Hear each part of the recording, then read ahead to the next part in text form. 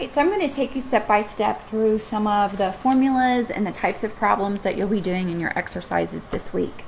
Um, for the first one, let's assume we have a distribution that has a standard deviation of 14. What I'd like for you to do is to describe the location of each of the z-scores that I give you below in terms of their position relative to the mean.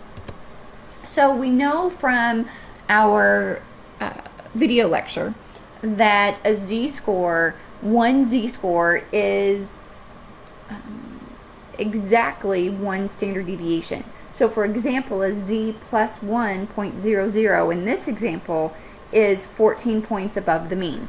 So if we have a z of plus 2, it would be 14 plus 14 because it's two standard deviations, okay, two units above the mean. So that would tell us that it's located above the mean by 28 points. If we have a z-score of 0.5, that one you can kind of figure in your head it's half, right? Half of a z-score would be half of a standard deviation. So then it's located above the mean by 7 points. What about if we have a z of negative 2? Remember, a z-score can be a positive or a negative, and it indicates if it's above or below the mean.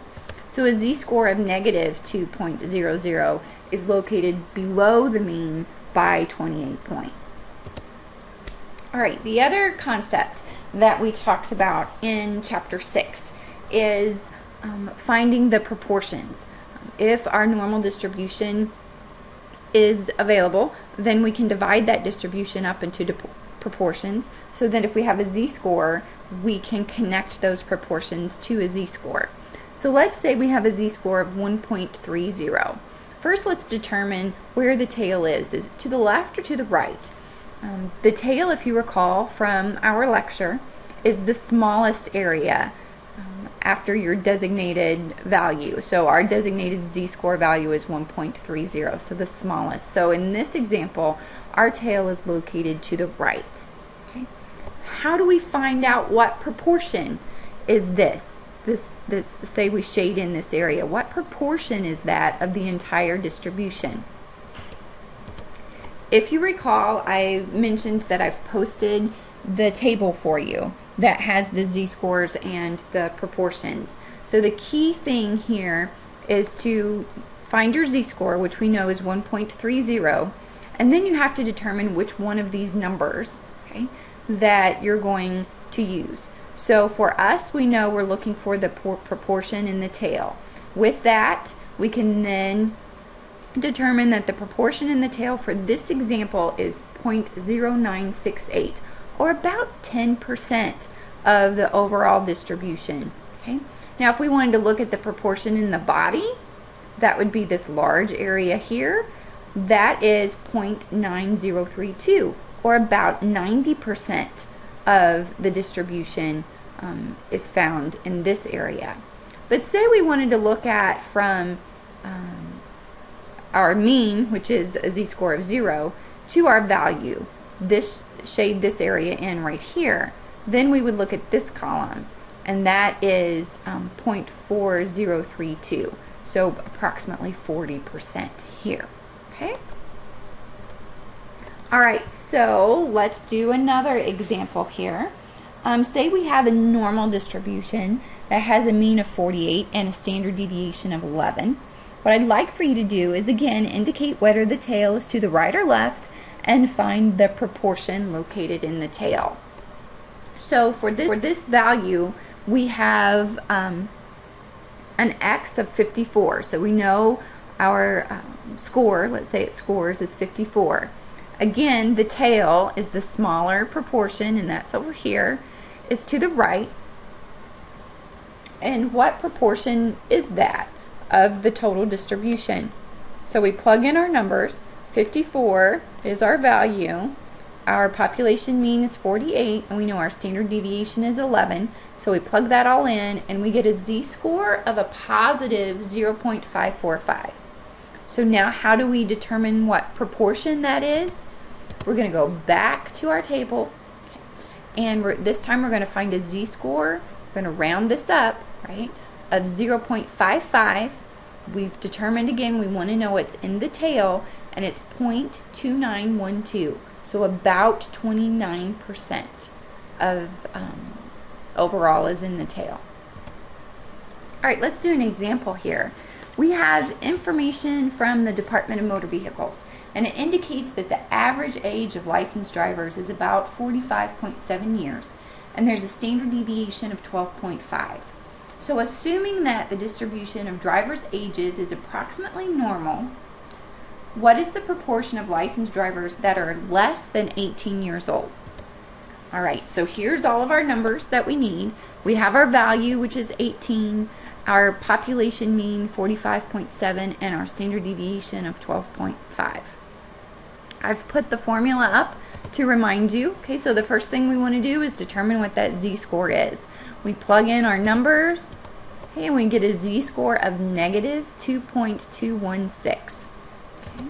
What I would do again, because I'm a very visual learner, is I would move that up and put this, or actually we're moving it down because it's a negative, 2.22 and I put my line here so I can visualize it. So we're wanting to know the proportion of drivers that are less than 18 years old. So once again, we're looking in the tail. We go to 2.22 and we see that is 0.0132 or a little less than 1.5% of the, the drivers are 18 and below. Okay, so let's do another example.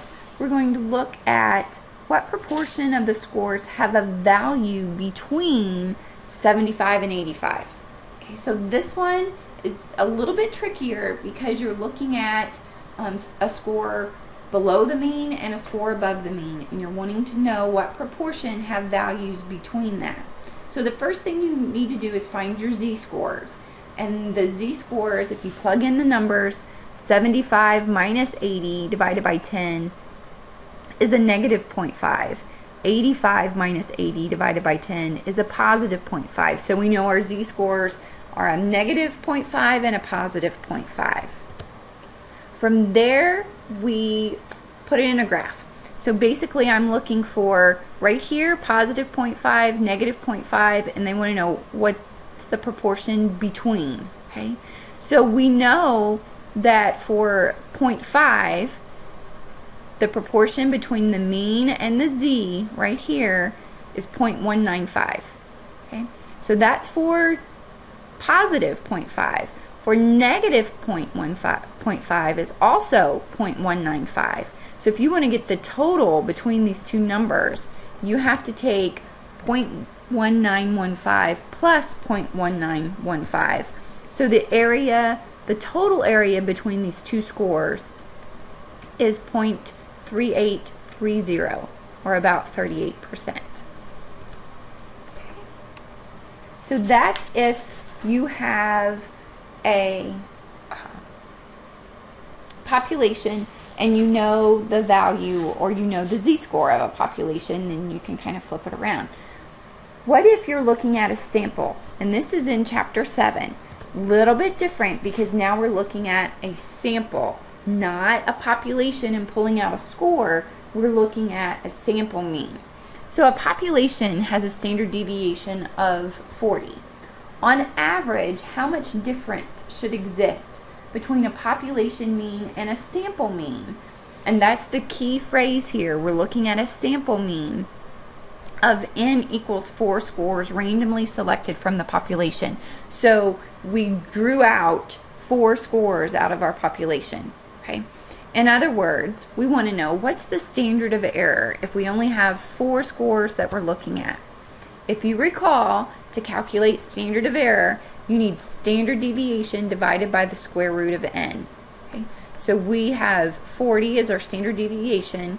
Our n is 4, so we take the square root of that, and we get 20 points. The standard of error is anywhere within 20 points. Now let's say, what if we had an n of 100? Okay, we calculate that, and now we only have a standard of error of 4 points. So this illustrates that central limit theorem, that the more you have in your sample, the less standard of error you're likely to have. So that's why we were working through this problem, is to kind of illustrate that for you. All right, So here's um, probably the, the culmination exercise where you have to take into account chapters 5, 6, and 7. So we have a machinery at a food packing plant, and it can put exactly 12 ounces of juice in every bottle. However, some of the things that they package, like potatoes, because they come in variable sizes, it's almost impossible to get exactly five pound potatoes. So the machinery is set up to put an average of 82 ounces, which is 5 pounds 2 ounces in each bag. Okay? The distribution of bag weights is approximately normal and has a standard deviation of 4 ounces. Okay, so our first problem is what is the probability of randomly picking a bag of potatoes that weighs less than 80 ounces? So we're looking at a specific score in a population. Okay? So to do that, remember our formula, 80 minus 82 divided by 4 is negative 0.5. Okay, we go back to our chart. Okay, we're wanting to know what's the, the probability that a bag of potatoes will weigh less than 80 ounces. So less is this side. Whoops. Let's see if I can get back there. There we go. So we're looking in the tail. So 0.3085. Okay. Now the next one, and I've added these formulas to kind of jog your memory. The key thing here is what is the probability of randomly picking a sample of, the sample has 16 bags of potatoes that have an average weight less than 80 ounces. So all out of all of the potatoes that have been bagged, if we only grab 16, what are our chances that they have an average weight less than 80 ounces? So because it is a sample, we have to calculate our standard of error of the mean, right? And so here's our formula of standard of error. So if we plug that in, okay, our standard error of the mean is our standard deviation divided by the square root of n. So we have a standard error of the mean of 1. Okay.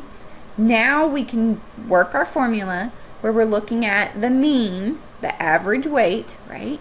of 80 ounces minus our population mean of 82 okay, divided by our standard error of the mean, and we know that's 1. So that gives us a z-score of negative 2. If we look on the chart and we look at uh, a z-score of 2.00, negative 2.00, this is going to be in the tail because we want to know if it lays less than 80 ounces. We're going to get a probability of 0.0028. So notice the probability of getting an entire sample with an average weight of 80 ounces is much lower than just grabbing one bag of potatoes that has an average weight of 80 ounces. Okay? So I hope that helps you kind of pull everything together and see how the three different chapters kind of come to a culmination at the end. It depends on if you're looking at one value in a population versus looking at samples, a random sample. With a sample, you have to calculate that standard error of the mean. It's very important so that you get a feel for um, what's the, the error and you take that into account.